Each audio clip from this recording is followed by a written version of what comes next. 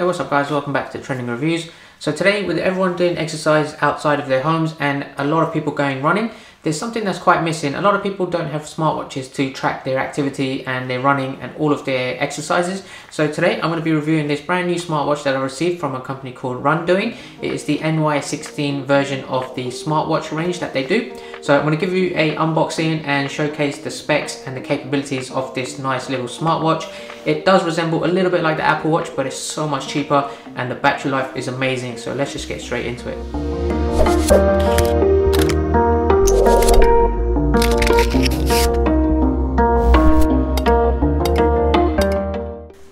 Let's go ahead and take a look inside the box. So as you can see, there is the watch itself. And this is the nice soft silicone strap. Let me go ahead and pull this one out. Inside the rest of the box, just quickly show you, you have the user guide and you have the uh, USB charger there with a nice little case that it sits on and then you also have a screen protector as well so you can put this on both the back and the front of the screen of the watch. So that's everything that comes in it. Let's go ahead and set this up just to show you the capabilities. So first things first let's go ahead and put on the strap. There we go. Let's just peel this off and let's turn this on. There you go. It's powering on. You get a nice vibration and then there you have the main watch face there. You have some uh, activity stats there for your footsteps and your calories burned. That chart in the middle is just part of the face, it's not actually any metrics. You can actually cycle through the different watch faces, so if you scroll down, you can see various different ones here as well. So depending on which one you'd like to use, you have the analog and digital versions there. This one I guess is the main one which shows you most stats, so you can keep this one if you'd like. Now if we swipe to the right, you can see this is the step count. It shows you how many calories and how many steps you've done today. If you cycle through, this is your sleep pattern. This is the power button to turn it off. And if you are going to pair this with your phone with Bluetooth, then this is the settings that you'll see to pair it. Now, as you can see, the timeout of the screen is pretty quick. So what you can do is you can go into settings and then you can change the screen lockup length. Right now it's set to five seconds. I will change it to about 15 seconds and then click back. Now this comes with 10 different modes. So you've got things like the walking, running, treadmill, bike, even the elliptical machines and rowing machine and, and many more. So you can find them under sport. You can see they've all listed here. So whichever one you want to do, it's pretty good that it will cover the majority of your cardio exercises. Now if you go back, press the button again, it takes you back to the home screen so you'll have to go back again. Now to go back, you keep scrolling up and you'll go to the previous page. It's got a pretty cool feature to find your phone as well, which is quite common these days. If you do lose your phone, then you can select that. And once you've paired it with your Bluetooth, then this will obviously help you locate that. Let's go back again. You also have your heart rate monitor. I haven't got it on my wrist yet, but you can actually calculate your heart rate. If you do blood pressure, you can also check your blood pressure there as well, which is pretty convenient to have. If you scroll up, you also have the most common types of apps as well. You have a stopwatch, a countdown, and you have information here, which is basically any alerts that you get from your phone once you've paired it for Bluetooth. And if you've set up the app as a female, then you can uh, monitor your female cycles on a monthly basis through the app here as well. You also have a music app there. So if you set it up with your phone, then you can set it to use either any type of music app. Most likely it will be Spotify and it will work just fine there. If you go into settings, you can change things like the uh, information setting as well. So where you want to receive your notifications, like phone calls.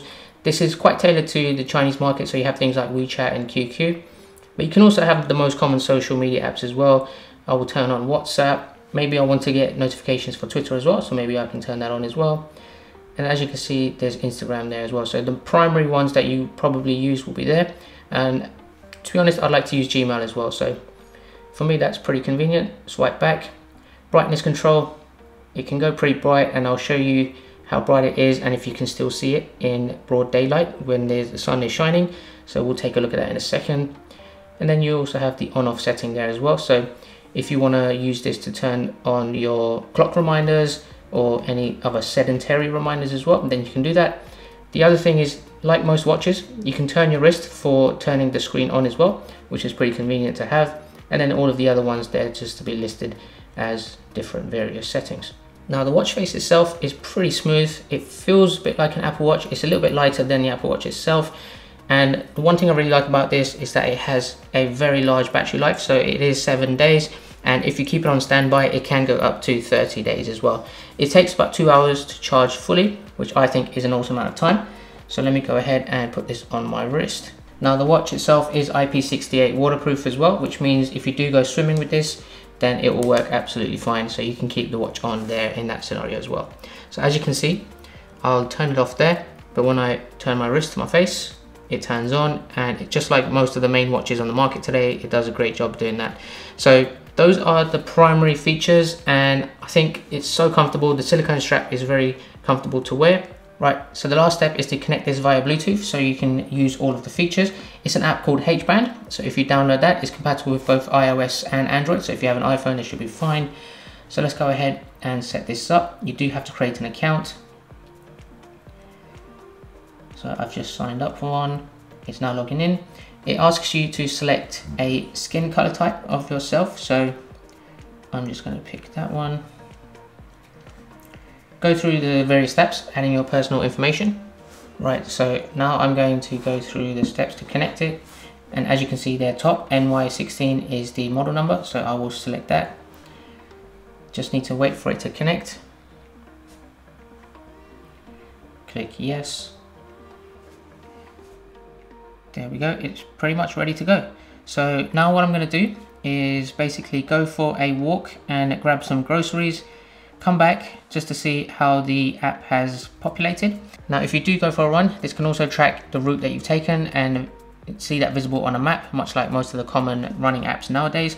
So what I'm going to do now is go for a walk to the local grocery store, grab some groceries, come back and show you how this has populated.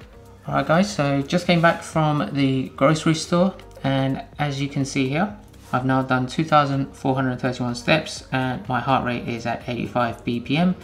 So it does a pretty good job and I can see that outdoors when I was just checking this in broad daylight it's a little bit hard to sometimes see the screen especially when it's very sunny because the brightness level is not as good as the high definition resolution screens you get on things like the Galaxy Watch or the Apple Watch. But for the price you pay on this it does a fantastic job.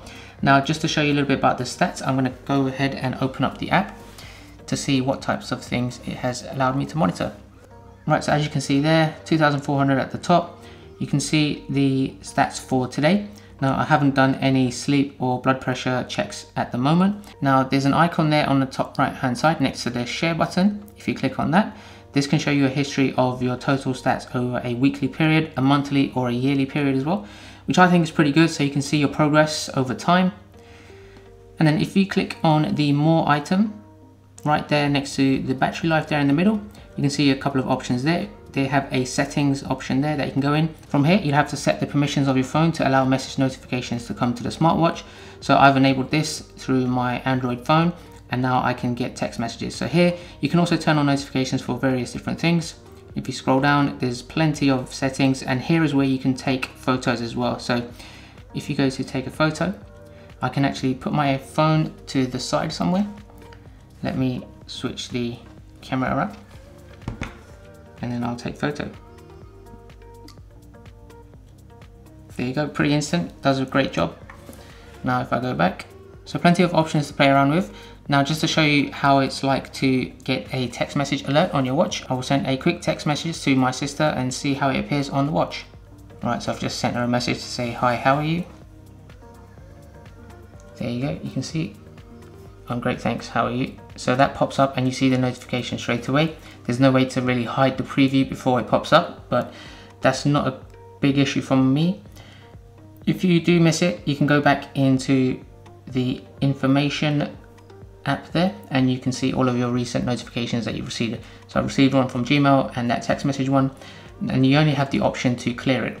So if I select that, I can read all of the full message. So that's pretty much uh, a basic functionality, but it does the job. It's kind of like a Fitbit as well. It gives you the basic functionality you need for a smartwatch and it gives you a wide variety of apps to be notified by and almost all of the most common social media apps as well. So for me, that does a great job. Now the final step is to show you how I would receive phone calls and what would appear on the screen. So I've just asked my sister to give me a call. There you go, you can see there's an incoming call now. You don't have an option to answer it here because this doesn't have an inbuilt microphone, but you can mute it, the watch is vibrating, or you can hang up there. So I can just hang up the call by pressing that and it will tell you you've hung up. So all the common functionality you need from a smartwatch and I think it's just done a great job and I will be wearing this going forward, especially going for my run and tracking my fitness activities. Alright guys, so hopefully that review was quite useful for you. I think it's done a great job so far. It's hit my expectations from a watch of this price range. It does come roughly around $50 depending on which country you're purchasing it from. So I will leave all of the links in the description below of where you can buy this on Amazon from both the US and the UK markets and any other links that are relevant for purchasing this awesome little watch. So seven days battery life, probably one of the best and longest battery lives you have. It's a very good competitor to something like a Fitbit, not so much like an Apple Watch or a Galaxy Watch, but nonetheless, it's pretty convenient. It's a great gift to give to people as well. So I'm pretty happy. And if there's anything else you want to know, then drop a comment below. Otherwise, I hope you like this video and I hope you subscribe and I'll catch you guys at the next one. Take care.